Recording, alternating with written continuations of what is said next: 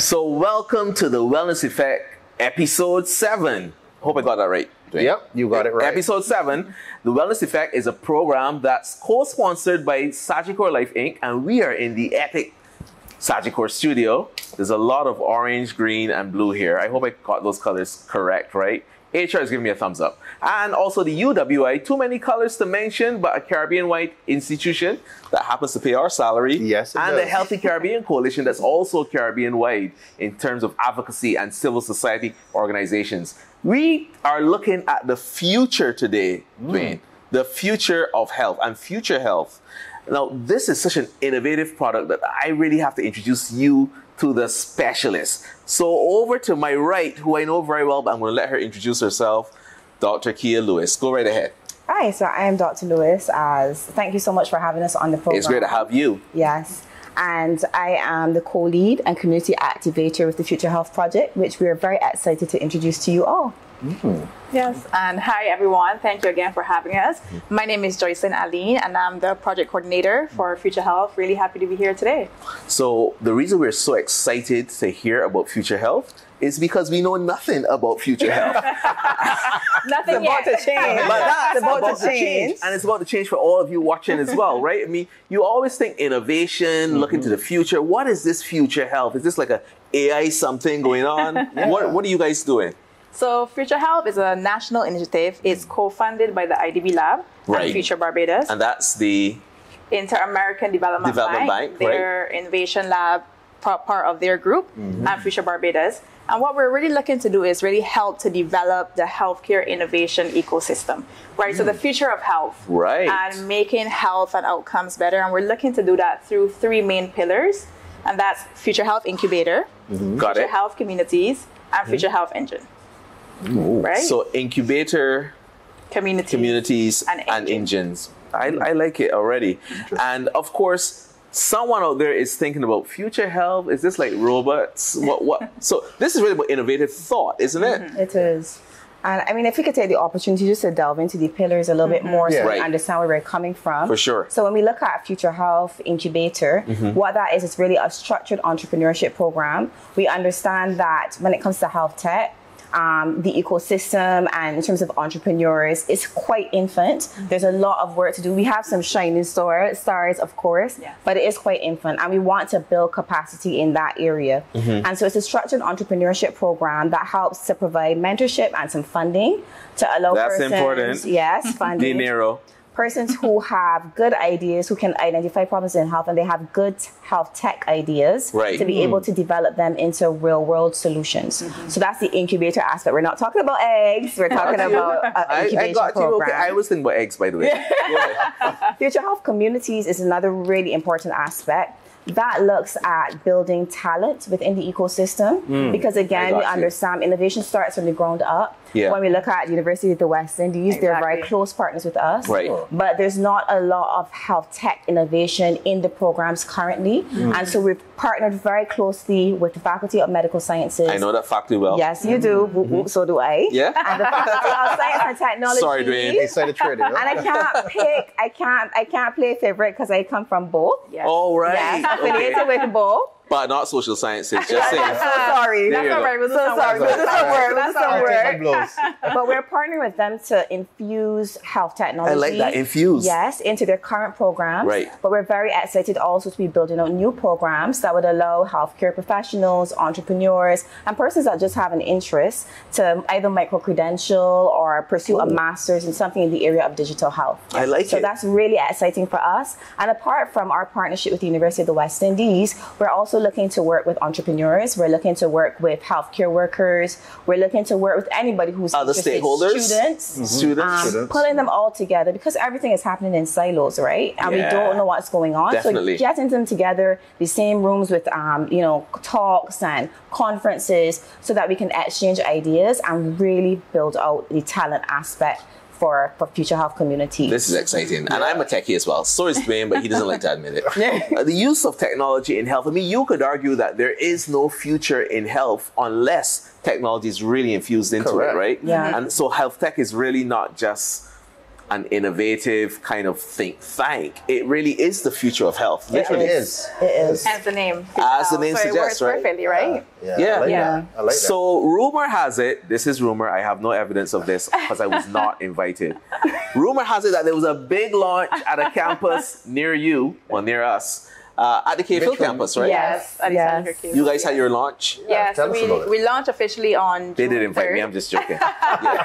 we launched officially on June 3rd, um, Right. and it was it was really a very exciting event. So what we really did is it was a very curated guest list to make sure that we had members from all the different stakeholder groups. So you know, Kia just mentioned that things happen in silos. So we had academia, we had Mm. Right. Mm. health, we had industry, we had insurance. Right. Oh, you know, we had pharmaceuticals. We wanted to make sure we bring everyone because we like to think that future health is acting as the glue to bring all of these different Mm. I like it. actors and And it was at the same- stakeholders. it was at the Cave Hill Sagicor School of Business, Exactly. was Which Right. is my department. exactly. So we did bring Yeah, social it's- science. it's all right. Thank you. Thank you. that? You're okay, you're okay for hosting stuff. Can't be siloed. Yeah, Can't be so, siloed. so we officially launched the event. You know, we had a lot of remarks. We had um, senior minister from the Ministry of Health and Wellness there. We had PAHO there, of course, our co-founders, IDB Lab, and Future Barbados, as well as the principal from the University of the West Indies. And we also had a panel, um, which Kia actually moderated, did a fantastic job. I heard. I heard through the Fantastic grapevine. job. Yeah. Yes, and, and the panel, and, and I think Kia can expand a bit more, but really we were talking about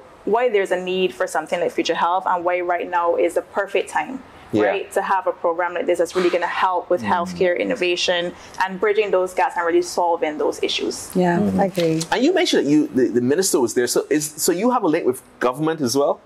So what we're really looking to do is partner with all of these individuals, Right. right? Because we're trying to make sure that we, as we act as the glue, we're, we're partnering both with public and private healthcare. Um, so it's definitely something, some relationships that we're finalizing and building. Um, so, so yes, I believe that we have we have their support, and we're really grateful um, to be able to have them on board as well. Yeah. Yeah. and I think the Ministry of Health, we recognize they're key stakeholders. Of course. Um, we don't have access to the public health system without them. Yeah. And what we're trying to do is not reinvent the wheel. We want to add support to their, you know, objectives. And we know that Got there's you. just a big push both in public and private sector towards digitization, among other things. Mm-hmm. And so we want to be able to add capacity where they might not have capacity. Mm-hmm. And again, bring the actors together across the Yeah. private and the public sector. So it's very important that we have that local relationship with the Ministry of Health. And wider than that, broader than that, the relationship with PAHO as well is integral for us because we have a vision for the Caribbean. Mm-hmm. And so we ah, want to be able you. to bring that Oh. into all of our mm-hmm. planning and all of our programming so that we're not just targeting Barbados, but we're starting in Barbados and branching wider So Caribbean, it's not, global it's not a south. silo project item. You you've incorporated key Caribbean stakeholders. Mm-hmm. Yes, I we mean have. PAHO is in there. That's Yeah, that's yeah. incredible. I know many of you are, you have your pens out, or maybe you have your smartphones out, designing your applications. When we come back from the break, we're going to give you more information on how you can get involved in the future of mm-hmm. health. Pause for effect with Future Health. We'll be back. we often plan for death, but we mm-hmm. don't plan for life. That so is true. we need to be mindful of that.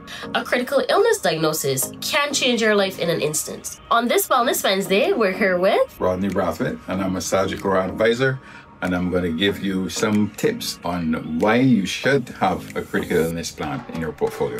critical illness like heart attacks, strokes, and cancer are more common than you think, and it doesn't only affect older persons. Rodney, from your perspective as an advisor, why is critical illness insurance so important? Critical illness is what we call a living benefit, which means it pays out to you while you're alive. So that lump sum, you have options to do whatever you want, either pay for medication and treatment, clear some expenses, or even take a trip and enjoy some of the money. All right, so it's always good to be able to have that lump sum. So, who would you say is eligible for the critical illness coverage? Anyone between the ages of 20 and 65. The maximum age for the plan is 75. So it has to be done by age 65. And remember, it's an insurance product. So you still have to be in relatively good health. There are about 20 illnesses that are covered. The more popular ones, if you want to call it that, mm-hmm. heart attack, stroke, cancer. So you'll be able to have a wide range of, of illnesses covered under this product. So how it works, once you are diagnosed by your medical practitioner with one of the illnesses, they have to submit a report to us. Okay. When that report comes in, it is reviewed by our team. And if they need any other further tests done, then we send you for those tests. Once that is done and we are satisfied that you are indeed suffering with whatever illness it is, then the PO is made. And can people choose how much coverage they want? Yes, they can, but I will hasten to say this. If you're going to do it, we need to do it properly. So you should have an in-depth conversation with your advisor to see exactly where you are and what you need to cover. What we do, we often plan for death, but we mm-hmm. don't plan for life. That is so true. we need to be mindful of that and Yes. have it done properly. So, have you ever had a client that utilized the critical illness policy? Actually, I am the client. I was diagnosed with cancer in 2020 and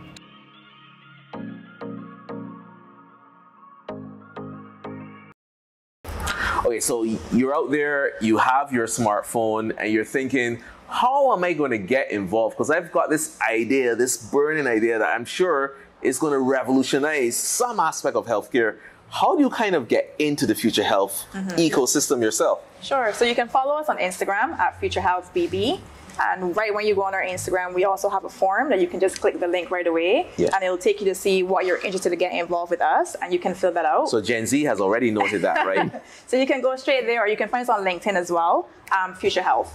Right? Future Health. Yeah, Future Health. that you'll one word? There. So it's Future, capital F, Uh-huh. and then capital Health. Okay, got you. All one word. Yes. Got you. Um, so that's how you can connect with us. Mm-hmm. Um, and yeah, we look forward to pretty much seeing how you can get involved. So whether that's something, whether you might want to just kind of brainstorm with us, we're taking a lot of, you know, just having some conversations. If you want to be a part of how we're So you don't actually this. have to have a project. You can kind of say, I have some thoughts about this. I'm not quite sure how to shape it. Those Mm-hmm. yeah, kind you, of you, we can have those conversations. Okay. Because we're currently co-designing for the incubator, which is going to be launching in Ah. October of this year for applications. Right. And then the cohorts will start January next year. Hmm. You know, so if you have some questions, you're not sure, hey, does this qualify as something that I could get involved with Future Got you. Health? You can do that. We also have a podcast, Future Health Talk. So if you're a part of the Ah. ecosystem Ah, already, a podcast, you know, I love it. exactly. We So love similar to rivaling us.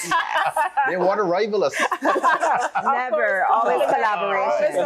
Always collaboration. Yeah. Um, so if you want to be a, a guest there, you can also reach out in terms of that. Excellent. You know, and we're also doing a lot of work with the University of the West Indies. So we're always looking for mentors. We're looking to get involved with students. And if you're, you know, a part of a medical institution and you are like, help us, we want to innovate in our doors. You know, contact us, and we love to partner. It's interesting you said that. I, mean, Kia, I was going to say that the a lot of innovative thought comes from medical students. You know, they've just they come in, you know, they they're ready to change the world of, of health, and during the course they have a lot of innovative thoughts and there's no way to channel them right Yeah. you kind of just focus okay well maybe i should just finish this degree and just get on and go into the same routine but maybe This is your focus this is a really good focus for medical students especially Absolutely. And not just medical students, but also persons who are doing the general health sciences program. Of course. And Yes. persons, persons in the Faculty of Sciences and Technology. So what we've found, especially in FST, there's Right. not enough um, capacity to absorb them once they graduate. There are not enough opportunities. Mm. Right. And I think, Dr. Connell, you know as well as I do, everybody that passes through MBBS does not want to be a physician. at There the you end. go. There we go. They're just kind of stuck with a degree and they're like, where do I go? Yeah. And so recognizing that this is why it's important for us to partner with the Faculty of Medical Sciences and FST to create more opportunities Mm-hmm. um, and to create that entrepreneurial mindset from within the university so at the important. university level. Yeah. The other really exciting thing that we're launching this year is the Health Tech Fellows. We didn't Yeah. mention that. Oh, wow. But in collaboration again with FMS and FST, Yeah. we are actually sponsoring um, four to five students to go overseas. They're going, going to be going so to opportunity i hope you're listening Yeah. overseas so yes, they're going to be going to health tech companies, Right. um, just to, to have that experience, be Im- immersed in cultures where health tech is really taking off. Right. And then we want them to come back and kind of apply their learnings to this setting. Yeah. So this is what I have learned. We know that we have our constraints, but what can we do differently? Right. And we think that exposure is so important because what you do not see, you, you cannot dream towards. So Right. we need them to be able to go in, immerse themselves, see it, get excited, and then come back and be ready and fired up to contribute. Hopefully, enter the incubator program and create something amazing. Of course. What, So we're what do you do? What do you do to encourage this buy-in, though? Because I can see there's some people who would be anxious, especially when you get health into this- data. Yeah. I'm getting WhatsApps already, by the way. No, I'll, I'll tell you something. So we publicly launched, um, like you said, just last week. Yeah. Right. I don't know what when this is um, when this is going to be showing, but we Right. publicly launched beginning of June. Right. We've been on the ground since December. Yeah. We have met with so many stakeholders. I know you It's have the been- NCD commission for we sure. did, we did, but we have met with so many stakeholders across Barbados, not just in health, but in all the other sectors, because this is multi-sectoral, right? Mm. It it's is. the only way it's going to work. Yeah. Right. So we've really done a lot of the groundwork to get buy-in, and that's why I think the launch was the success that it was. Mm-hmm. Beyond that, though, we recognize that we need buy-in from the public. There we go. And so that's one of the reasons That's why that's you, absolutely. That's one of the reasons why we thought the podcast was so important to get that information out there. Um, why we set up our socials in such a way that we can give bite-sized information. That's important. Yes, and what we're going to be looking to partner with different organizations again, like like yourselves here at Sagicor and Yeah. UWI, to really get the word out in ways that people can understand. Because there is that fear around health tech. But we know because um, Joycelyn is a LinkedIn expert, so she's been able to She's throw very the active on LinkedIn. and she's been able to get um, international experts from all over the world to connect with us and get them fired up about the project. So we know that there are solutions out there, Right. but we just need to be able to share that with the public Mm-hmm. um, and to begin to, you know, give them a sense of ease that Mm-hmm. we're moving in this direction, but there are ways that we can protect them as we do that. I think that's really important to, to put out there. So you mentioned your social media handles already. Instagram, you're on LinkedIn. on Yes. LinkedIn. and they're very active on we- both those websites, by the way. Oh, excellent. I've been stalking them. And we have a, a website coming soon. Okay. Um, Ah. So once you follow the socials, then you'll be able You'll to. get information on You'll get the information Yeah, once our once the website is up Viewers. and running Yeah. as well. Yes. Yeah. I mean, this, is, I mean, this is so exciting. You know, you, there's so many people out there watching this program who are going to have projects, and having a place that they can come to and just bounce ideas off of to get think tank, information, yeah. a think tank, really, and then incubate that project to something that's meaningful. Yeah. I think is so important. But it's also important for us in the Caribbean space to be innovative, right? And to think because Mm. we have limited resources, how best can we use the resources to address the indigenous health needs of our people? Absolutely. And you know, Kia, I know you wanted to mention this because I was thinking as you said it, that international experience with your fellows is so important. You've just come back from an international experience, so you know that how it changes your whole perspective of health. Yeah, and you see it differently. you see it, It differently. does. A fun fact, Joyce and I are both Chevening College. Yeah. scholars. Oh, wow. Um, we There were you in go. the same cohort, and I don't know, somehow ended up in That the same project. I'm sorry. That is coincident. Yeah. Coincidentally, we are also right next door in Sagicor from the British High Commission, right? Yes. Yeah. It's right next door. So, it's shout out to you guys as well and the Chevening team. I was not a Chevening scholar, but I'll apply again. Okay, so there. we're still in the age limit. i There's no age limit for There's no Chevening. age You're limit. good to go. You're good to go, right? You're, you're good to go. The future of health is right here on the set of The Wellness Effect. We hope that you enjoyed this podcast. We hope that you continue to watch The Wellness Effect. But we also want you to have a look at the new podcast out, which is Future Health Talk. Future Health Talks. They have promised to have us on the set as well. Yeah. Yes, we will be guests. Yes. And guess what? There may be a challenge on that set as well. I hope that you have will follow them on Instagram and on LinkedIn. Look out for their platform. Thanks for joining us on episode seven. Yeah. Episode eight. We Half may be half a cooking up some stuff for you. So stay tuned. Yeah. Thank you for having Thank you. us. Take care, Thank guys. you. Thank you.